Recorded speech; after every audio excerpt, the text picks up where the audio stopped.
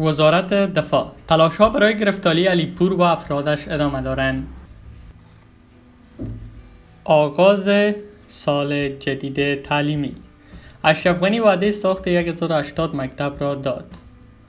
به نام خداوند بخشنده و مهربان و با تقدیم سلام. به یکی از دیگر از های این channel خوش آمدید. تقاضا می‌کنیم برای حمایت از ما کافی است این channel را دنبال کنید. آغاز سال جدید تعلیمی. اشرف غنی وعده ساخت 1080 مکتب را داد. زنگ مکتب امروز سه شنبه سه عمل. در مراسم در ارگ ریاست جمهوری توسط رئیس جمهور غنی نواخته شد. اشرف غنی وعده داد که حکومت در سال جدید تعلیمی 1080 مکتب جدید در کشور خواهد ساخت.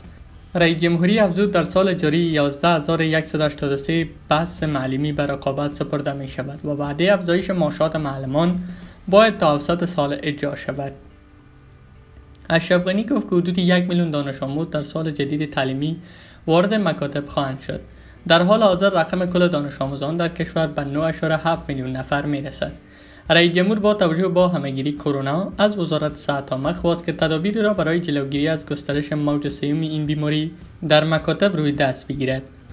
سال گذشته گسترش کرونا باعث شد که مکاتب در بهار آغاز نشود و حتی در ولایت‌های گرمسیر نیز مکاتب تعطیل شدند.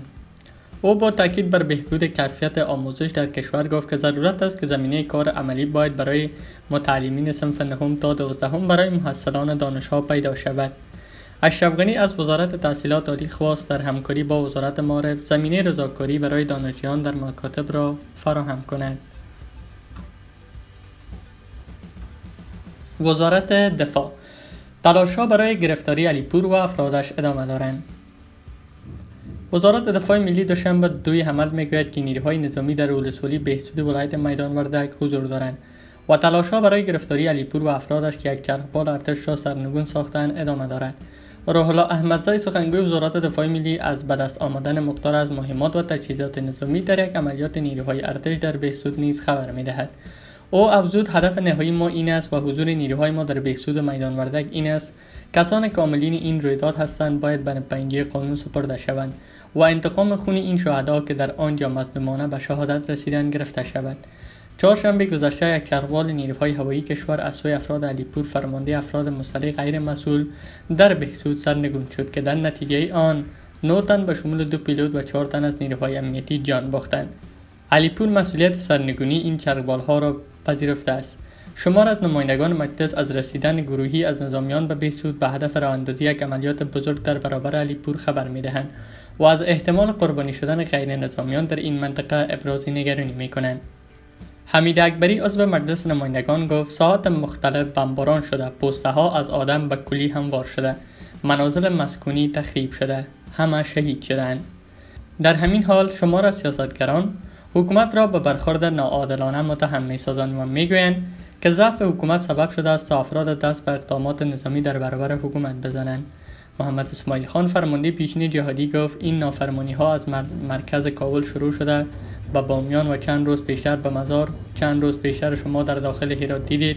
اینها پایه های نظام را به کلی سس و ناتوان و ما را به مشکلات روبرو می کنند به روز شنبه حمدالله محب مشاور امنیت ملی برکناری مسعود اندربی وزیر امور داخله را به رویداد بهسود مرتبط دانست.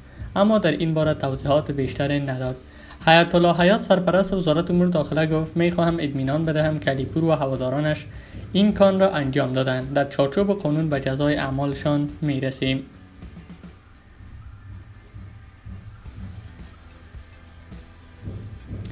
همچنان امرالله سالی عاملان سرگونی چربال در بهسود مجازات خواهند شد.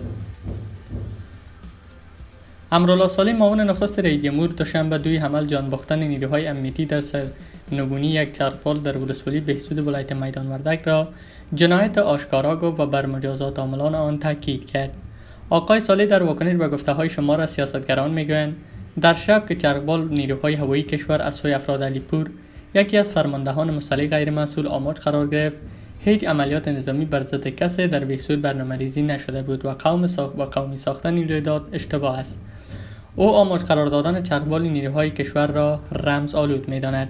در 28 ماه حدود سال گذشته یک چرخبال نیروهای هوایی کشور در بیسود با شلیک موشک سرنگون گردید که مسئولیت آن را علیپور پذیرفته است.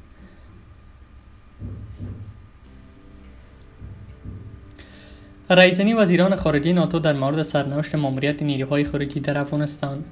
وزیران خارجه پیمان ناتو قرار است سه شنبه سه حمل در نشست در بروکسل در مورد مسائل مهم جهانی با ویژه ماموریت این پیمان در افغانستان رئیسنی کنند دبیرکل ناتو تصمیم گیری درباره خروج یا دوام حضور نیروهای خارجی از افغانستان را دشوار خوانده است. دبیرکل ناتو پیش از آغاز نشست وزیران خارجه ناتو که این پیمان با حمایت مالی خود از نیروهای افغان تا سال 2024 ادامه خواهند داد. دبریکل ناتو گفته است ما با نزدیکی سربالعجل ماه می در ناتو بحث و مشوره می کنیم. وزیران خارجه به مشوره روی وضعیت افغانستان و مشوره روی ارزیابی حضور نیروهای خود ادامه خواهند داد. گزینه های آسان نیست و در حال حاضر تمام گزینه ها باز است وضعیت امنیتی دشوار است.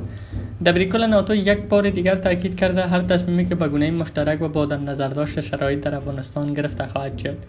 دبریکل ناتو از طالبان خواست که خشونتها را کاهش دهد. او بیان کرد ما به گونه جدی از تلاش هایی که انرژی تازه برای روند صلح بدهد پشتیبانی می‌کنیم و این نیاز به کار مشترک همه طرف ها برای دستیابی به پیشرفت دارد تا سطح ها پایان بیاید و با اطمینان مذاکره کنند قرار بود در نشست قبلی وزیران دفاع ناتو در مورد سرنوشت ماموریت نیروهای این پیمان در افغانستان تصمیم گرفته شود. اما این تصمیم به نشست امروز تعطیل شده است. بر اساس توافقنامه صلح امریکا و گروه طالبان که در فوریه سال 2020 در دوحه به امضا رسید امریکا متحد شده که نیروهای خارجی تا اول ماه می سال 2021 از افغانستان خارج می شوند. در برابر گروه طالبان هم متحد شده است که رابط خود با گروه توریستی دیگر را قطع کرده و اجازه تهدید امنیت امریکا از خاک افغانستان را ندهد. امریکا و متحدانش می‌گویند مطابق شرایط افغانستان را ترک خواهند کرد. طالبان اما هشدار در مورد ادامه حضور نیروهای خارجی پس از ماه می را می‌گویند.